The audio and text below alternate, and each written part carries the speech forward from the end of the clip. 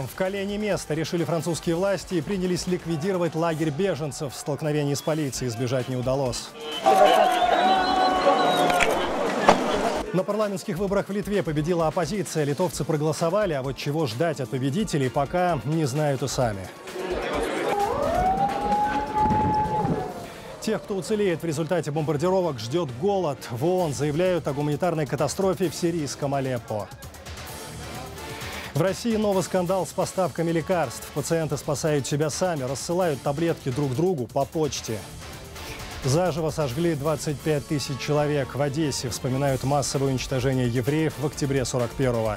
За сто лет люди так и не смогли понять, чего стоит их жизнь. Главный приз кинофестиваля в Риге получил фильм о Первой мировой. События дня в настоящем времени из Праги. Я Сергей Дорофеев. Здравствуйте. Джунгли во французском Кале ликвидируют. Джунглями местные жители называют лагерь беженцев, где нашли кровь в 6,5 тысяч выходцев из стран Африки и Ближнего Востока. Мигрантов доставляют во временный центр размещения. Операция по расселению началась на рассвете. Утро в Кале выдалось холодным. Беженцы выходили из боксов, укутавшись в одеяло. Существование джунглей неоднократно вызывало протесты французов. На ликвидации лагеря настаивали даже местные власти, называя его трущобами.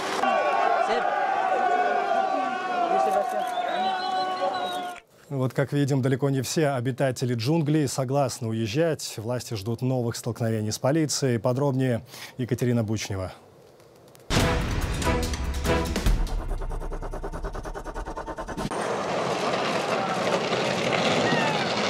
Пока одни обитатели джунглей Кали поджигали туалетные кабинки и бросали камни в полицейских, другие выстраивались в очередь на эвакуацию. До конца недели всех жителей палаточного лагеря должны расселить по 450 приемным центрам по всей Франции. Процесс переезда начинается в огромном ангаре. Сюда с сумками и чемоданами мигранты начали приходить еще затемно. Мы могли бы вывести до трех тысяч человек. У нас есть 60 автобусов, но часть из них уедут полупустыми, потому что некоторые приемные центры центры готовы принять лишь 30 мигрантов. Так что сегодня мы заберем около двух с половиной тысяч человек. Всех жителей джунглей разделят на четыре группы. Семьи, одиночки, дети без сопровождения и слабозащищенные взрослые. К ним относят женщины пожилых. Затем их доставят в приемные центры. Там они пройдут медицинское обследование. И если еще не сделали этого, оформят заявки на получение статуса беженцев. Решать, куда именно они отправятся, мигранты не могут, но им позволят выбрать один из двух предложенных регионов. Я уже подал на убежище во Франции, я готов уехать из этих джунглей. Жить в них для нас нехорошо. Лучше отправиться в центр приема. Французские власти говорят о гуманитарном кризисе. За год в джунглях Кале умерли 18 человек. Но, несмотря на это, многие не хотят уезжать. Эвакуация их пугает. Те, кому уже однажды отказали в убежище, боятся депортации. Другие волнуются о том, что их отправят в страны, где они впервые въехали в Евросоюз. Или же, наоборот, сами не хотят оставаться во Франции. Нет, я не уеду отсюда. Я не хочу уезжать. Я хочу в Британию. Я бездомный, но не безнадежный. Я знаю, о чем мечтаю. И я хочу уехать ехать в Канаду. Активисты правозащитных организаций говорят, предыдущие попытки разогнать джунгли Кале приводили к тому, что некоторые мигранты начинали просто прятаться от властей. Так, по словам правозащитников, было в марте, когда часть лагеря бульдозерами сравняли с землей. Сбегут около половины, может, чуть меньше. Они либо сбегут из автобусов, либо просто уйдут, как уже многие и сделали. За последние недели отсюда уехали более двух тысяч, и в эти выходные многие тоже уезжали. Кто в Париж, кто еще куда-нибудь. Большинство обитателей джунглей мечтают о Великобритании. До нее всего 34 километра, но там их тоже не ждут. На прошлой неделе британские власти начали впускать лишь детей без сопровождения, имеющих родственников внутри страны. На этих выходных Лондон впервые принял 70 детей-мигрантов без каких-либо связей в Великобритании. В Кале новость об этом восприняли с надеждой. Здесь остаются почти полторы тысячи несовершеннолетних без семьи. Сейчас французские чиновники пытаются выслать в Великобританию как можно больше детей. На парламентских выборах в Литве победила оппозиция. Прошел второй тур голосования. Выборы признали состоявшимися. Вперед вышел Союз крестьян и зеленых. Он обеспечил себе 56 кресел Сейма из 141. Отмечу, это будет самая крупная фракция за последние 20 лет. Однако единолично принимать решения у нее не получится. Для парламентского большинства нужна коалиция. Вот кто в нее войдет, сказать пока трудно. Из Вильнюса мой коллега Денис Тарасенко. В некоторых вопросах они левее социал-демократов, в других – консервативнее правых сил. Кто они? Литовцам до сих пор не ясно. На волне разочарования населения и коррупционных скандалов Союз крестьян и зеленых ворвался в парламент с рекордным для Литвы результатом. Союз крестьян и зеленых стали не только главной сенсацией этих выборов, но и главным разрушителем традиций. Обычно в ночь после выборов политики собираются на первые консультации о будущей правящей коалиции. Крестьяне и зеленые решили нарушить эту традицию и в свой штаб никого не позвали. Минувшей ночью в штабе «Зеленых» кипела напряженная работа. Политики подсчитывали победивших в округах, на столах никакого алкоголя. Чай, кофе, традиционный литовский торт «Шакотис». Переговоры, говорят победители, будут со всеми политическими силами и продлятся не меньше недели. Консерваторы из Союза Отечества христианских демократов Литвы получат 31 место в Сейме. Они чрезвычайно недовольны, что победители намерены договариваться о коалиции как с ними, так и с социал-демократами man apskritai nėra priimtina. Для меня в принципе недопустима позиция, когда переговоры идут на два фронта. Мне непонятна позиция, что между социал-демократами и консерваторами нет особых различий. Поэтому можно вести переговоры и с теми, и с теми. Я не вижу таких возможностей. Консерваторов ранее называли основными претендентами на тандем с крестьянами и зелеными. Однако накануне политики разругались. Консерваторы намекнули на связи победителей с Россией. Основной бизнес председателя партии крестьян крестьян Рамуна Сакарбаускиса – это удобрения, которые он закупает в России и Беларуси. Родной брат предпринимателя Миндаугас – художественный руководитель театра Маяковского в Москве. Наконец, до вступления в НАТО политик пытался организовать референдум, дабы решение о вхождении в Североатлантический альянс не было лишь решением парламента. Все это политику припомнили именно сейчас, намекают на его возможной связи с Кремлем. Претензии победители отвергают. Я могу всем журналистам журналистам заявить, что мы будем действительно открытыми, мы будем говорить и отвечать на все вопросы, мы будем декларировать все встречи и все поездки, мы будем настолько прозрачными, насколько это необходимо, чтобы ни у кого не возникало никаких сомнений. Ровно этого же мы будем требовать у партнеров по коалиции. Словесная война с правыми парадоксальным образом может сохранить власть за проигравшими выборы социал-демократами. У них 17 мандатов, а значит, только их достаточно крестьянам зеленым для большинства в парламенте. Если они получат под 60 мандатов, то им будет необходимо всего 11, а у нас только после первого тура уже 13 мест. Впрочем, не исключен и паралич власти. Если Союз крестьян и зеленых не договорится ни с правыми, ни с левыми, то Литву ожидает эпоха безвластия. Сценариев масса, от правительства меньшинства до перевыборов. Денис Тарасенко, «Настоящее время», Вильнюс, Литва. Очередное перемирие закончилось. Российская и сирийская авиация возобновили бомбардировки районов Алеппо, контролируемых оппозицией. На земле работает при этом тяжелая артиллерия. Сирийская правительственная армия и повстанцы продолжают обстреливать позиции друг друга. Вон тем временем предупреждают тех, кто уцелеет в результате взрывов, ждет голод уже в самое ближайшее время. Подробнее Шахида Якуб.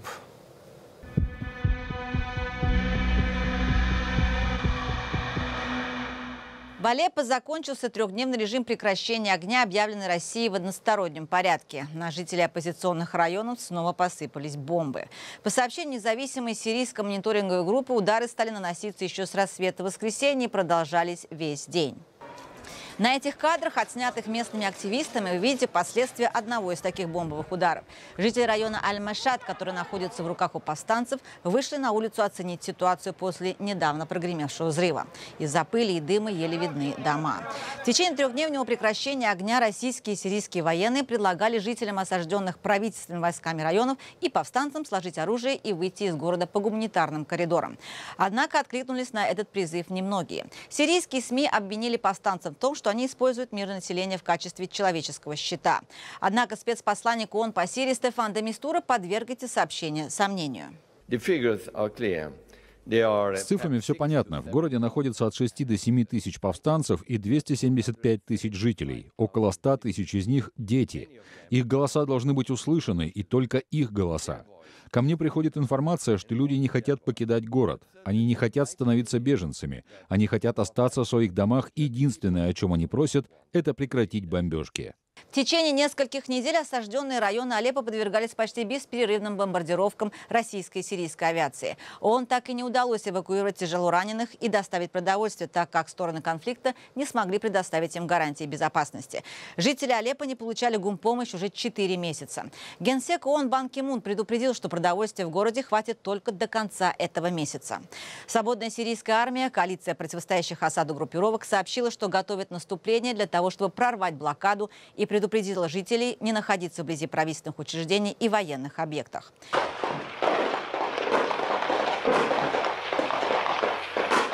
На этих кадрах, распространенных сирийской армией, вы видите бои между правительственными силами и повстанцами на юго-западе города. По сообщениям независимой сирийской мониторинговой группы, оппозиция обстреляла район Хамдания, который находится в руках у правительства. В то же время министр иностранных дел Франции призвал ввести экономические санкции против Сирии после того, как комиссия ООН подтвердила факты использования сирийской армии химического оружия.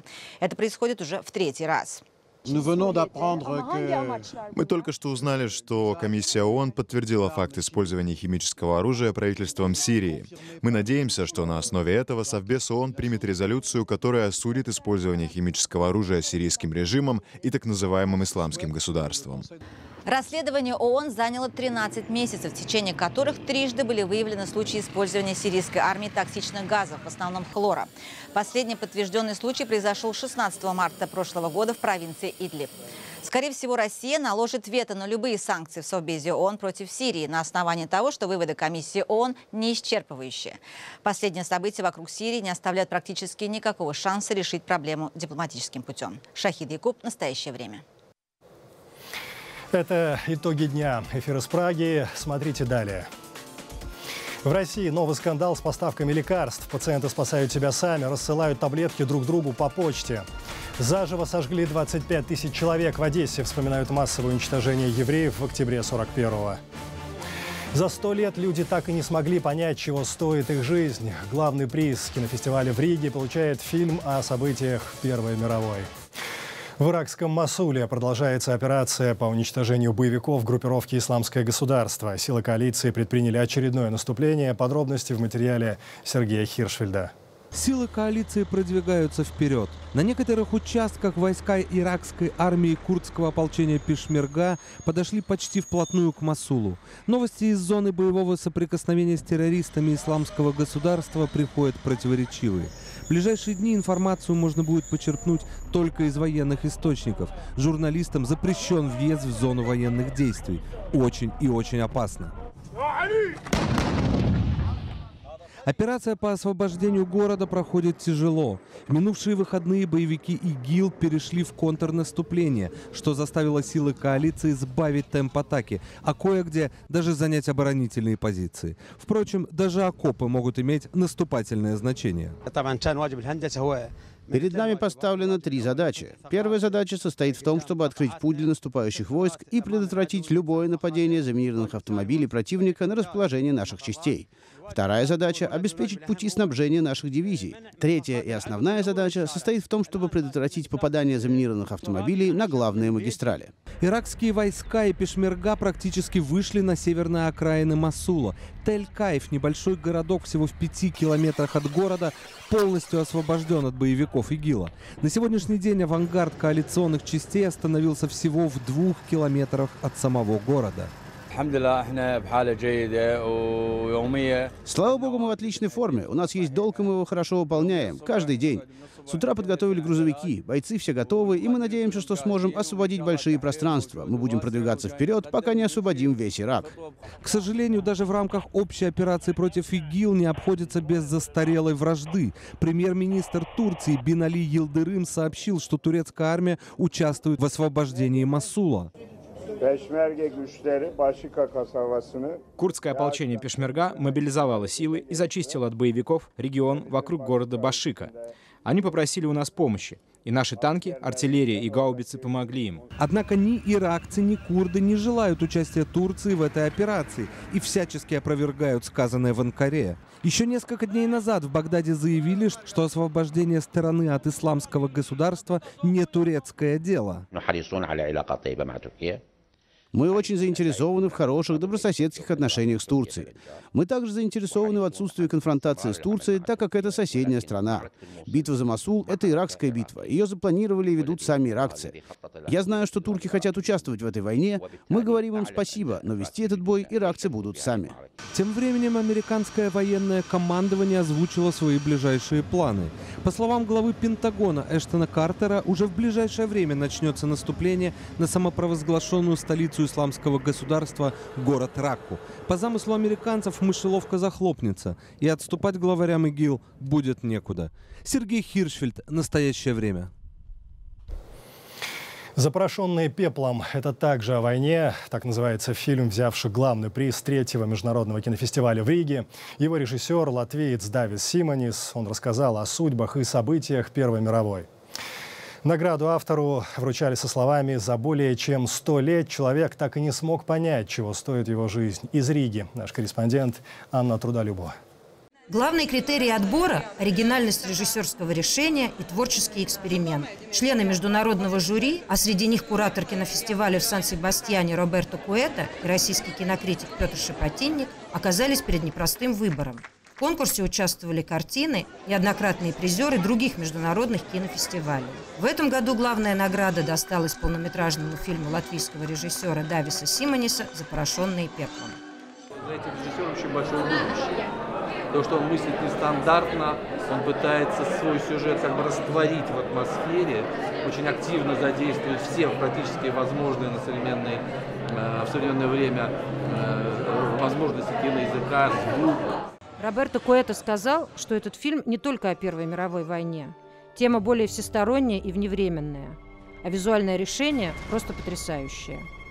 Оглашая творческий приговор, этот фильм описали так – Вечная и универсальная аллегория неописуемых ужасов войны, выраженных амбициозным и бескомпромиссным киноязыком. Сам автор не скрывает эмоций.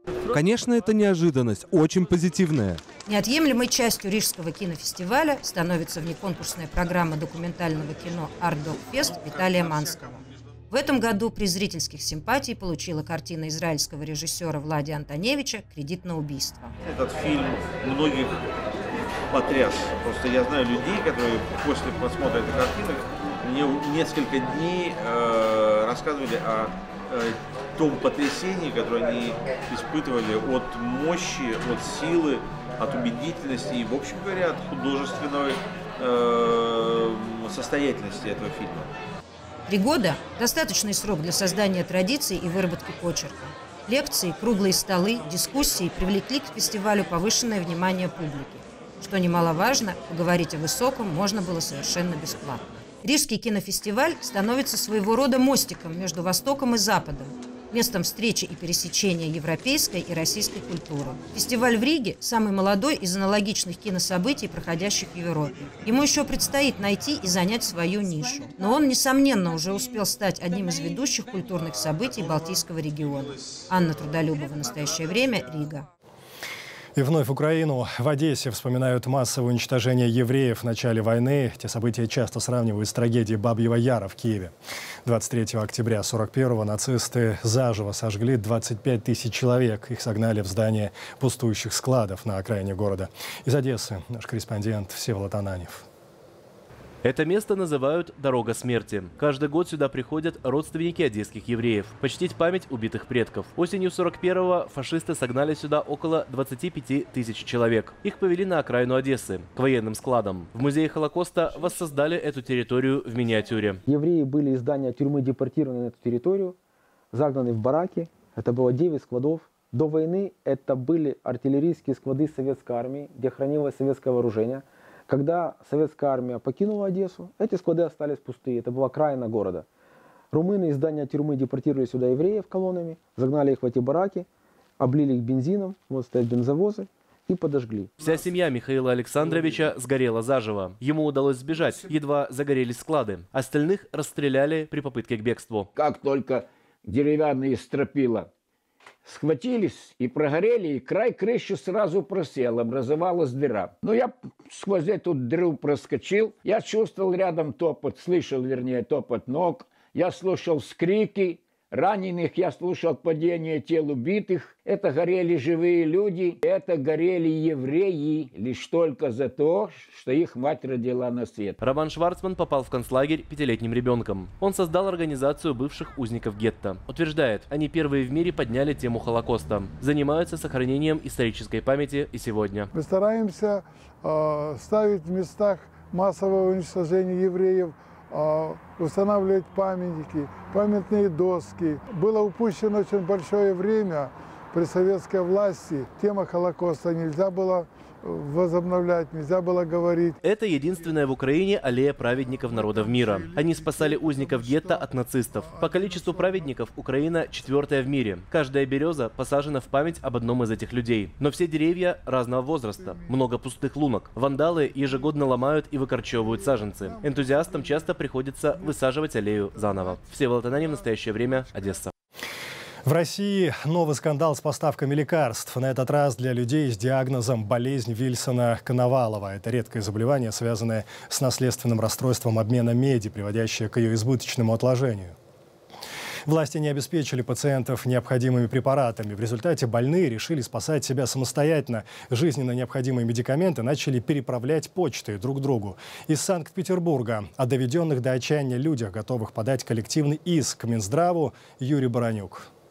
У Виктории Рыжковой болезнь Вильсона-Коновалова. Чтобы не умереть, она должна каждый день принимать препарат купринил. Он помогает выводить медь из организма, который сам с этой задачей не справляется. Но если в Петербурге лекарства есть на полках аптек, то в четырех субъектах страны его не достать. Кому может, Виктория рассылает таблетки почтой.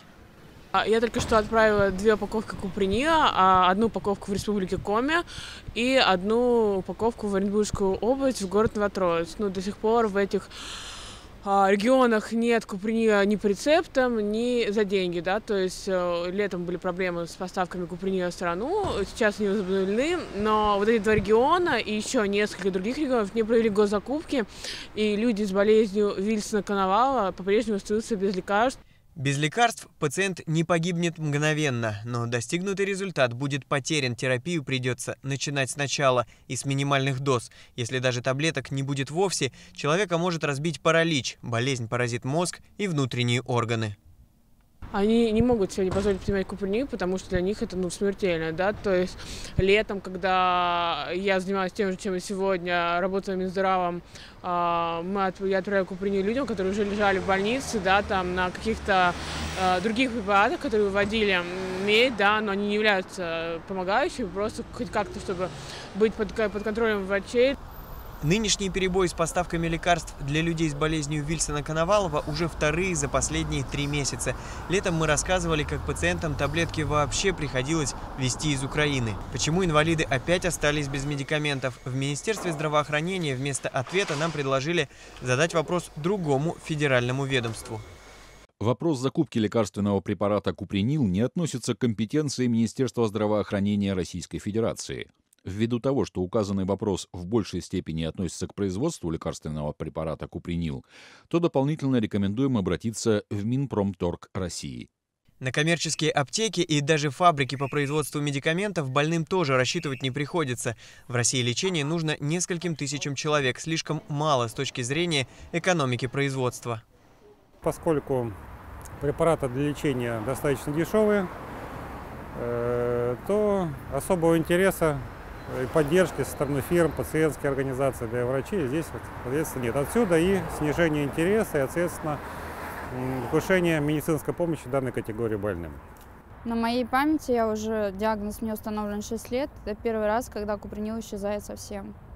То есть, если его нет за льготу, да, можно прийти в аптеку, купить его за деньги, с этим проблем никогда не было. На моей памяти и первый раз я с этим столкнулась, у меня был шок, паника, и я просто не знала, куда бежать, что делать и вообще как, что... Теперь Любовь Ганькина вместе с другими больными планирует подать коллективный иск против Минздрава, несмотря на все усилия волонтеров именно в руках федерального ведомства жизни тысяч пациентов. Юрий Баранюк и Александр Глебов. Настоящее время. Санкт-Петербург. На этом все. Таким был этот понедельник, 24 октября. Смотрите нас в социальных сетях и в эфире своих национальных телеканалов. В настоящее время Сергей Дорофеев. До свидания.